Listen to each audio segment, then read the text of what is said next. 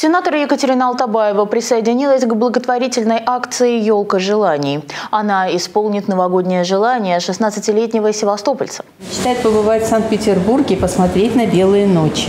Ну, раз мечтает, значит, нужно будет помочь человеку в этом чудесном его ожидании. Екатерина Алтабаева каждый год традиционно участвует в двух таких акциях. Снимает шары с желаниями детей как в Совете Федерации, так и в Севастопольском волонтерском штабе «Мы вместе». К примеру, в этот раз сенатор исполнит желание нескольких детей. Трехлетнего мальчика из Донецка. Он захотел на Новый год конструктор пятилетней жительницы Севастополя, которая пожелала специальный набор для ручной работы, и 16-летнего мальчика, мечтающего о поездке в северную столицу. Вот эта добрая традиция «Елка желаний», мне кажется, она важна, потому что она помогает тем, кто в этом нуждается в первую очередь, э, самым юным.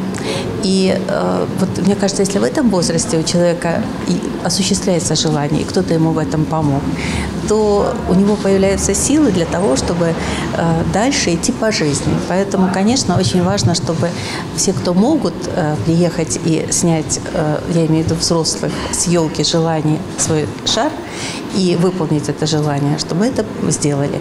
Мне кажется, что мы немножко поможем, а вообще реализация всех желаний, самых заветных, зависит от того, как ты сам трудишься и как ты вот себя реализовываешь в этой жизни. Сенатор рассказала, о чем сама мечтала в детстве и кто помог превратить ее желание в жизнь. Потому что у меня долгое время, там вот в начальной школе, было желание, чтобы у меня была собака.